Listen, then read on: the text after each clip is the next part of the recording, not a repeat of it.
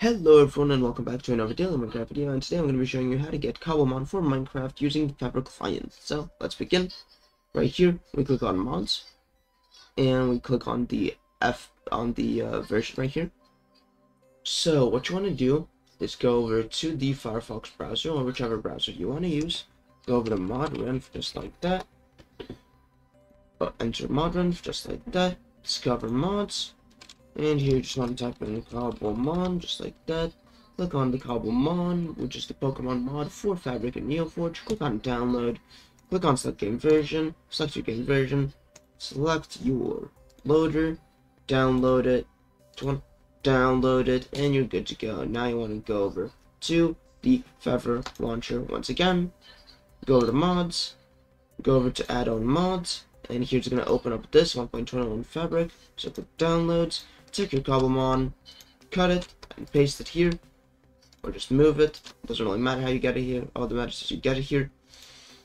Now, just click on Launch Fabric, and you should be good to go.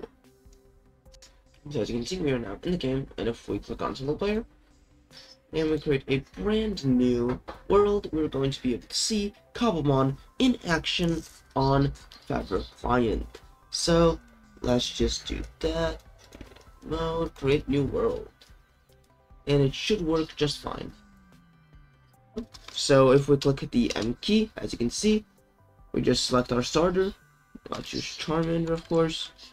Yo we have Charmander the world of Cobblemon yo you can see we have some really unique stuff. There's some stuff here some plants some cherry berries Total 2. I don't know what they do. They look cool. Look at itself if it is paralyzed. Yo, look at that. Look at that thing. Look at that thing. R. Yeah. You battle it? Oh wait, I can just kill it like that. Well, that works, I guess. So that is how to download and install the Cobblemon mod for Client. Don't forget to like and subscribe and turn on notifications, and I'll see you in the next one. Peace.